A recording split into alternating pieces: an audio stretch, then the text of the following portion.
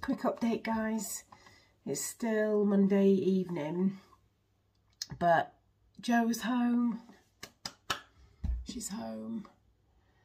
Can't believe it. I thought it was way worse than probably what it is. Um, she was given antibiotics. I'm sure she'll she's she'll tell you about it because um, they thought the the peg line was infected.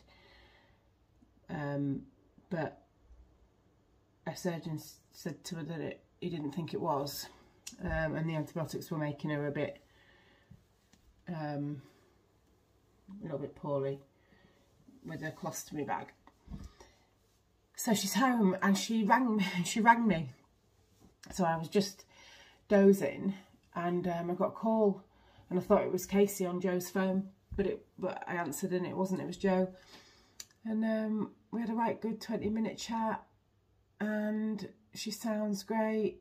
Whatever the MS flare up or whatever it was has gone down and uh, her levels are back down to normal she feels okay so fingers crossed she she stays that way um, Ash has popped out I'm just looking at the bunnies outside playing I love them so much and yeah I won't I won't beat myself up I've learned I've learned to see the signs more now. Like Joe was saying, no, I was all right. You know, I was all right. I managed to get round the garden centre.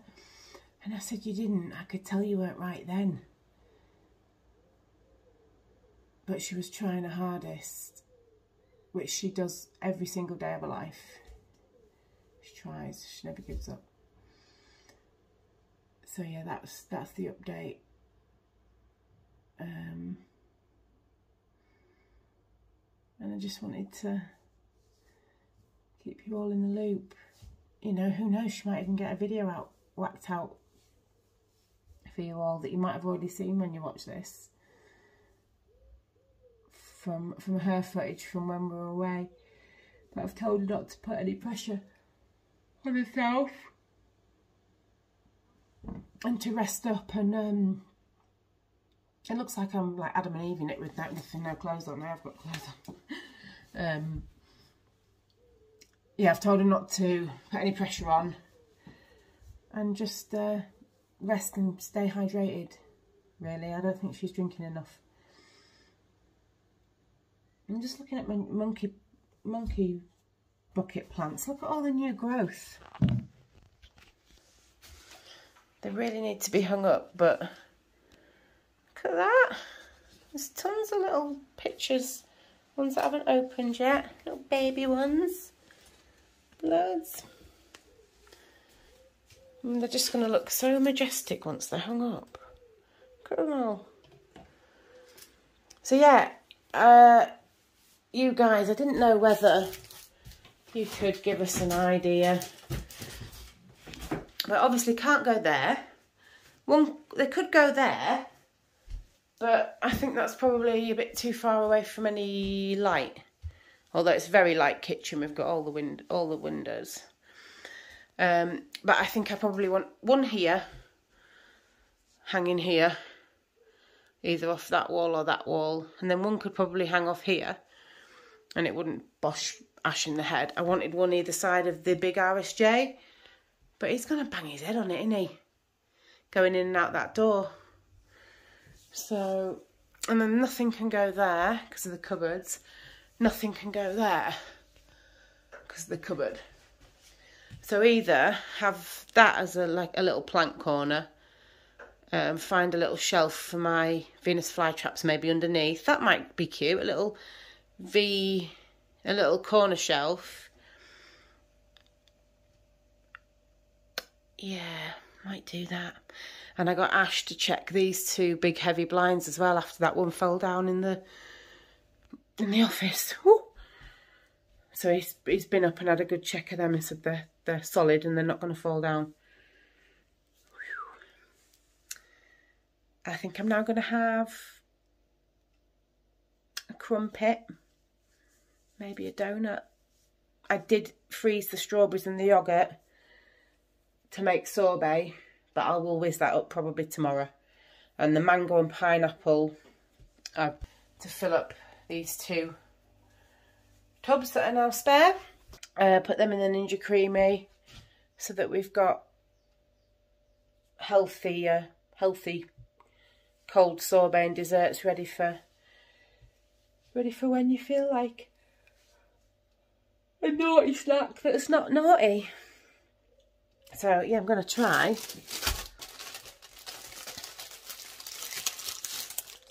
Square crumpet. And these little Ziploc bags, they don't half come in handy. You can't seal that very well. So if you put them all inside one of the Asda Ziploc bags, squeeze all the air out and they keep so much better. And then in the bread bin. All done, no air in it, all sealed up. All done, no air in it, all sealed up. Oh my God, is it getting to that time of year where you've got to put your lights on? Hi Cookie. It is so dark outside. Please don't let that be like, you know, winter. Winter kicking in. Why don't you stay there? You Currently stay in Wakefield, oh. it's 14 degrees with light showers.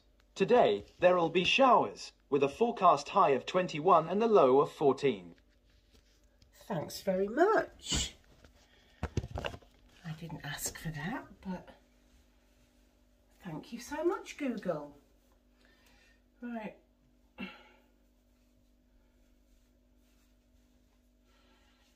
Oh, welcome to another day, everybody. It is five to seven on the 27th of June. Thank you for joining me on this roller coaster of life. I feel, um, don't know how I feel today. I feel happy that Joe's out of hospital. I feel anxious for Friday with my operation coming up. I feel in pain because of my womb. Again, gosh, I'm just going to try and I'm just going to try and draw a line under it. I'm going to take the dogs for a walk now with Ash. Is it's it's very rare he makes me laugh in the morning. but he has. I'm kidding. But he's made me howl this morning. We've had a right laugh. And uh, yeah, I'm gonna I'm gonna put a positive spin on today. Oh god, the pain though. Wow, stop. Um, take some more painkillers, get through today, and uh, yeah, Daddy's there, Ashley's there. Right, I'm gonna take dogs for a walk.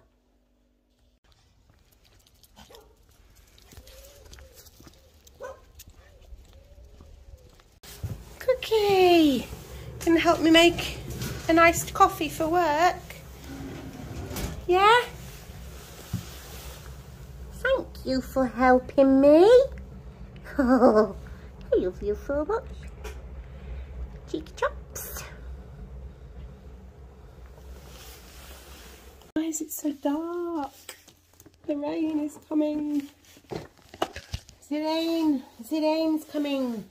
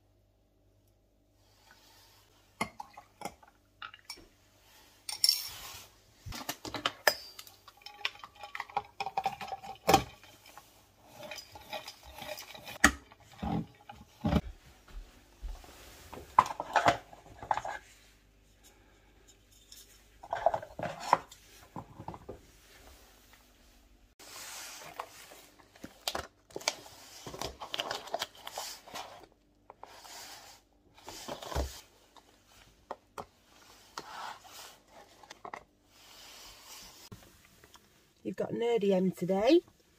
Put my glasses on for a change. Because I am Miss Tired Eyes. Uh, I need to put my hair up because it is raining. And my cap will need to go on when I get to my first client. Ashley's gone to work. Got my coffee. Got my... I haven't sorted my route out. That's what we need to do. I better do that now. Audiobook update. Gillian McAllister, Wrong Place, Wrong Time. Really good. It's the audiobook I've been listening to and I finished it. Susie recommended it to me. She's reading the paperback and it's very good. Uh, I was hooked on that. I got through that really quick. And now I've started on to Tina Turner, My Love Story, her autobiography. So that'll be interesting. And I'd like to know if you've got any other recommendations for me. So for audiobooks, because um, I'm in the car quite a lot, I tend to not actually pick up a book, but listen to audiobooks as a, as a drive round.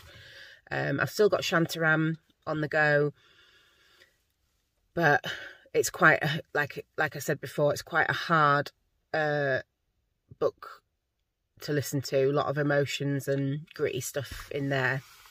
So uh, I dip in and out of that. And with the anxieties coming up for Friday and everything else, um, I wanted some more light-hearted ones. I think Tina Turner's story is quite gritty as well, but you know what I mean. Um, so drop drop your recommendations in the comments for me. And I'd love to know what you know what I'm going to listen to next. Look at this little one. Hang on.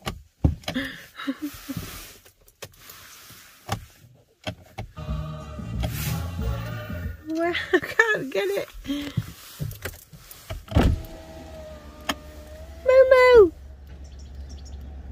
Hello, sweetheart. I love you. I'll see you soon. Oh my god. Oh my god, she's too cute. I love her so much. I love you, sweetheart. I see you soon. Mama, go to work. Love you. Oh, she's just laid down. Love her so much. Um, right, work. Just been for my usual Tuesday Tesco toilet break and I just realised that I'd not, I don't think I've ever been into home bargains with you lot. And it's only over there, and I work for myself, and I need a bit of downtime. So I'm going to go and take you around home bargains. I only need some sanitary products, and that's it. I'm not going to be spending any money. And uh, But I'll show you lot what home bargains is like.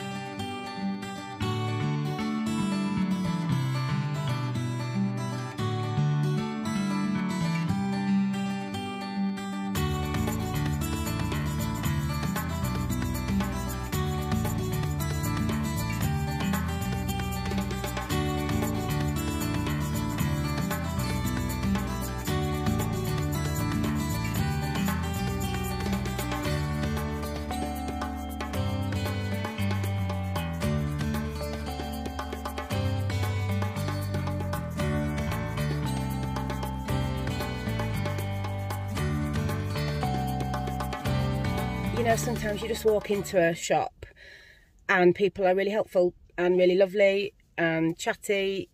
And that was one of them, Home Bargains in, is it Garforth? Um, and thank you to the lovely manager, Stephen, with a PH, who um, listened and helped me and we had a chat. And uh, brought a smile to my, to my face. So thank you so much. Keep up the good work, guys, and I'll be back in. Um, have a good day despite the rain, and I hope you have a lovely day at work. Hello, my sweetheart. Oh, come here. What are you doing? Going in. Oh, beautiful. My sweetheart. I love you. I clean your garden of some poo poops. Clean your garden of poo poo. You beautiful baby. Look at your massive head. It's like a bull's head. Oh, I nearly forgot to mention, guys, as well, the, the little beautiful doggy that was um, suffering from pyometra last week and got rushed into the vets. This is her. And she's all better. She's all better. Thanks. Don't scratch her face. Don't put in her face. Yes, you look so much better. Thank you. Good girl. I know I'm going to get you, sweetie. Yes, you're too big to jump up, aren't you? Oh my goodness. I'm just going to sit in my car for a little bit until this passes.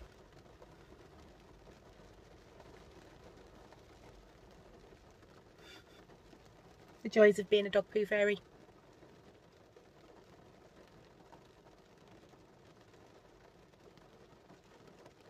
Again, I don't mind though. We needed a bit of rain. We did need some rain. Did I tell you about a loganberry plant? I might not have done. Brought strawberry pot, some strawberry plants after the Hobbit Hut trip when we went to the garden centre. And I bought a loganberry bush plant. And only because when we were kids, there was a neighbour down a little snicket near where me and Susan mum lived and dad.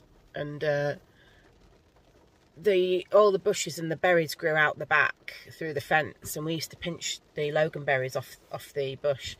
And they're like massive. It's like a hybrid between a raspberry and a blackberry. And they're huge and really juicy and yummy. And I thought oh my god I always wanted a loganberry bush. But I've got it home and Ash was like where are you going to put that? And I was like I don't know because apparently they grow quite big and they need like a wall or something to climb up but all the plants were reduced and I felt sorry for them and anyway I'll find somewhere to put it I'm sure. I'll find somewhere to put it. Up the side of the garage or something I don't know. Or I'll see if I can find a gap in the in the patio bit at the back where the roses grow through the uh, conifers because there's nothing growing down there. We need to clean that bit out really and see, you know, what's what. But yeah, loganberries. Just reminded me because I just had my blackberries for my dinner. And I haven't had a loganberry for, for years. Just brought back loads of memories. Hello. That's a lovely greeting like always. Can I come in? Ah, oh, thank you. Thank you. I love you so much. So, from Home Bargains, I got my sanitary products. Some jasmine and orange blossom two-in-one with fabric conditioner uh, capsules. They look and smell delightful. A huge ice cube tray for my iced coffee. So I'm not popping 5,000 ice cubes out on a morning some, what are these? Hypnotic Hibiscus Blue And this feels so comfortable. A bath pillow. Because my little bony neck now, top of my spine, sits on the back of the bath. Oops, I've stuck it to the side. Um, so I thought that would be so comfy. Um, I thought about Ash using it for a minute and then I realised he can't lay down in the bath because he's gigantor. But I can. Oh gosh, it's been a busy day, but I'm finally home. What time is it? Quarter past four. I never get in that late. Never ever. Um, but we've got the frozen yogurt and strawberries from Little Seed Field that I need to transform into frozen yogurt. uh, release. Right, two seconds.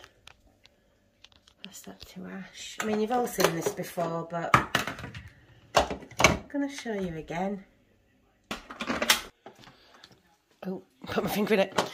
That is the strawberry froyo, and it is so nice. Thanks, Ninja. Thanks, Dave. Oh my gosh, and the only reason I'm crying now is not because I'm sad.